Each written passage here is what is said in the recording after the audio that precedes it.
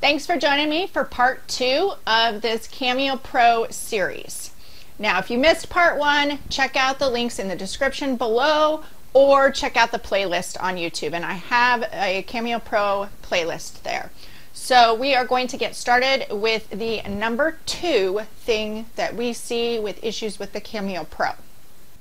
Okay, so the number two issue that we see with any machine um, but with your Cameo Pro as well, is the blade installation, one. So this is kind of a two-part. First thing is the blade installation, and the second thing is the blade housing reset. Okay, so first I'm going to cover the installation of the blade. So I'm just going to grab my Cameo 4 Auto Blade, and I really um, hate the fact that there are so many Cameo 4 Auto Blades that are in the trash. And a lot of users will be very quick to tell you they hate the Auto Blade or that they need to toss it. Most times, all you need to do is reset your machine and that can solve your problem. As we go along, I'll show some close-up photos here. So the first thing that you're going to do on your machine is in the tool one housing, the one with the number one on it. You pull out the front on it, that is your locking tab. You pull that out, you're going to slide the blade in, and when you slide the blade in, you want to lift up on the front of that locking tab as you do it. And push that blade all the way in the machine, all the way down. There should be no gap between the lip of the blade and the front of that and the blade housing. After you have it fully seated, completely in there with no gap, and it doesn't take a lot of force, but you need to make sure that it's all the way in. You're going to push the locking tab in. And there is a little blue dot in the front of your locking tab. It means absolutely nothing. What it actually means is that the locking tab is pushed in. That's it. You can pull your blade out, push your locking tab in, and the little dot will be blue. Does not mean your blade is installed properly because there isn't a blade in there. The little blue thing just means that the locking tab is pushed in. It does not mean that your blade is installed properly. So you pull the locking tab out, push the blade all the way down, and then push the locking tab back in.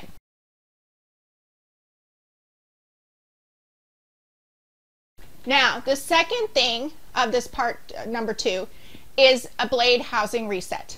And the reason to do a blade housing reset is because this auto blade needs to hit these adjustment holes and they're on the left side of your machine. Here's a close-up.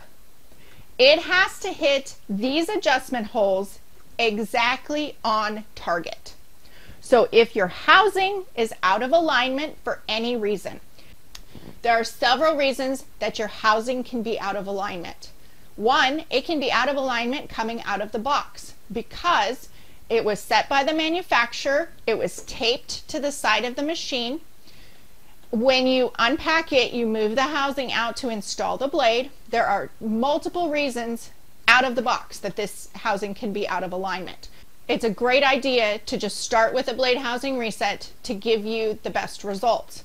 The other reasons that a housing can become out of alignment is your blade went off of your material, which can be caused by either the blade not installed properly, the material wasn't set up right, or the housing is out of alignment. So if your blade has gone off of your material or your cutting mat, if the cut settings are too deep, that can be caused by either settings that are set in the software or your it's not hitting your adjustment holes properly and the blade set too deeply.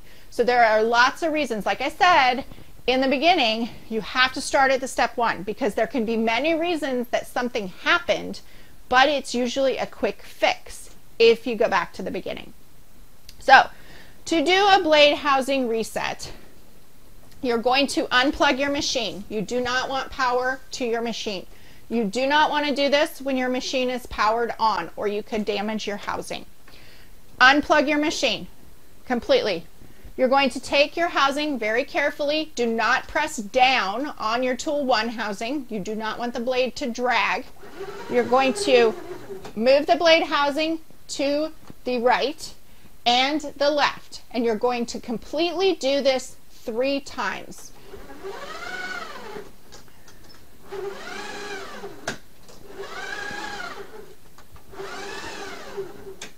And then you are going to leave it on the right hand side. Now, a couple things I'll mention here. One, if you're if you feel resistance, stop. Do not force it. Look for something in your machine that is blocking the housing from moving. It could be that you're pushing down on tool one because that tool housing moves. Two, I recommend that you do this three times. I'm going to share a little secret here with you that I learned in troubleshooting. I say to do this three times. It's not necessarily that you need three is the magic number, but I found when I was troubleshooting with users that, that they would do it once and then they would call it three times.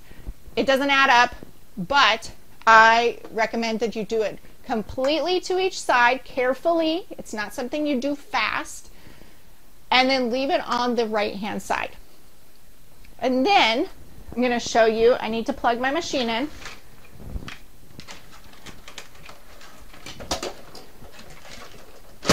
So, plugging my power cord in.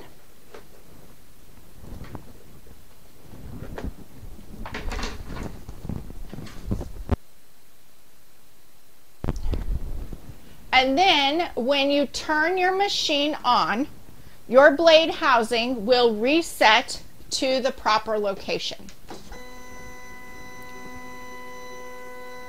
Since it's a 24 inch machine, it takes it longer to get to the other side.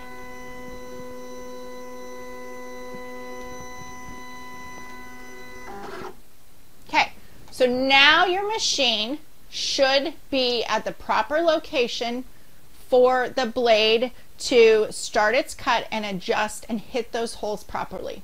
So here is another troubleshooting trick. If you're not getting consistent cuts, there are two things you can look for. One, the first thing that I always look for is if the red line inside the auto blade has adjusted to the proper number.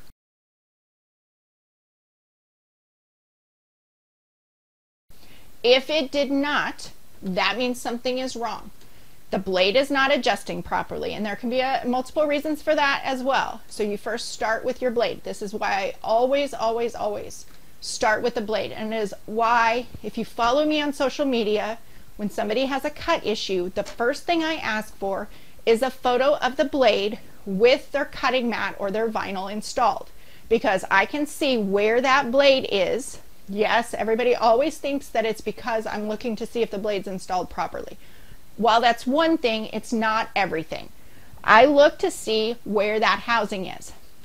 Now, the only way you can tell if the housing is aligned properly is with a cutting mat or material loaded. So this is why I always ask for the photo is because at a quick glance, I can tell you about 10 different things about your machine. Um, but I can tell where that housing is and if it's aligned properly. If it's out of alignment, it's not hitting those adjustment holes, and that's your first problem right there. If the blade isn't adjusting properly, you're not going to get good cuts. It doesn't mean that the auto blade is bad.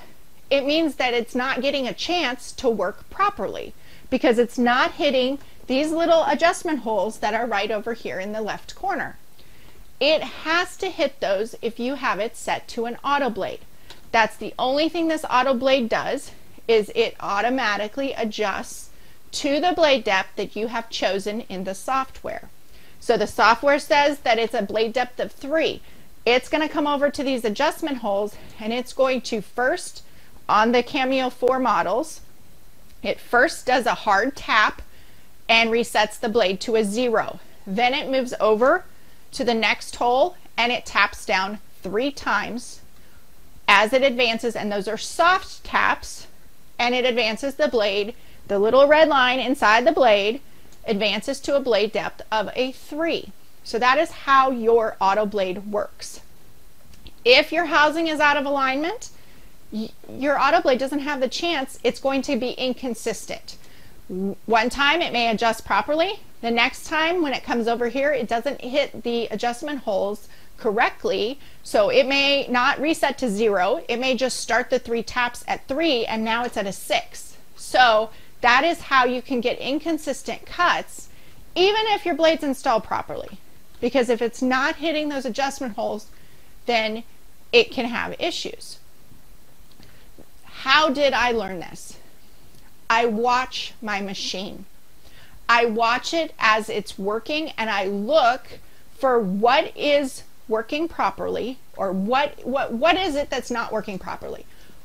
How does it work in the first place?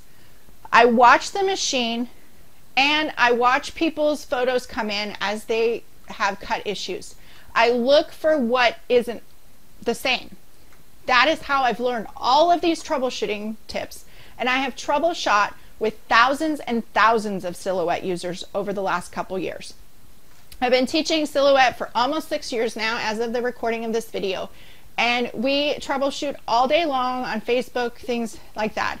The fastest way to get your issues resolved is to provide a photo, a very specific photo, in fact, and I have the wording down in how I ask for that because you showing me your blade in your hand does not help me to know how your machine looks. So this is one of the things, and it's number two because the first one is the one we see the most often with this Cameo Pro. Everybody thinks that they can just get it and set it up on a little tiny desk and it, it will work. Um, so this is the second part. First your blade installation, then the housing reset. Now if nothing else is working, then I'd recommend trying the housing reset after you've checked your blade installation. Watch your blade as it works. So if you've done the blade housing reset, your blade is installed properly, and it's still not cutting, how much have you cut with that blade? Is it possible that it needs to be cleaned out? And I'll put links in the description on how to do that. Trying to do a quick video for YouTube. Um, doesn't always work out because like I said, there are so many factors that could be the possibility. So I am going to give you a brief example of how I can tell the housing is out of alignment. I've watched the machine, I have studied the machine, and I know its behavior. So I hit the wrong button. That's the load button. It's gonna automatically pretend like it's loading because I hit the wrong button. See, and it didn't load because I don't have it set up right. So, there's a little tip for you. So what I'm going to do is I'm going to flip my roller bar lock lever down. This lifts the right side of the roller bar, and now I can slide my right roller over. And we'll cover this here in just a second, but I'm going to just use this 12 inch mat as an example. Once I have it locked in the proper position, then I can load my cutting mat. So this is how I can tell housing alignment, and it takes practice. Again, I watched my machine. I learned how it works. So I'm going to hold. What I'm going to do is I'm actually going to use auto load. So I'm going to press that button again. I'm going to push my mat, place my mat up to my rollers and let it pull it in. So when your machine loads, if you watch it, that housing will adjust and move just a little bit. The way I can tell a blade housing is aligned or not is the position of your tool one housing hits a certain location and in this case there is a little dot on the front of the roller bar.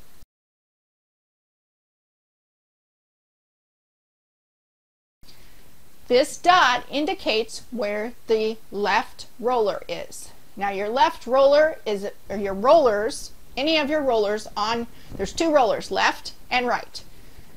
They are only about a quarter inch, maybe even less, in width. So we'll do a close-up here in just a little bit of that. But the Tool 1 housing lines up directly behind that dot every single time if the housing is aligned properly. Watch as your machine sets the auto blade. Does it move to the correct number that you have set in the software? Did it adjust properly? Those are your first clues on if it's something to do with the blade itself and the housing alignment. Now, housing alignment can be also have different issues. Not only will it cut inconsistently, but it won't cut in the proper location on your cutting mat or on your material that you're cutting. Um, so you want to, you just need to start at the beginning and go through everything. Is your page set up properly? Is your material size set up properly? Where are your cut borders showing? If your machine is cutting an inch to the right of where it should be, your housing might be out of alignment.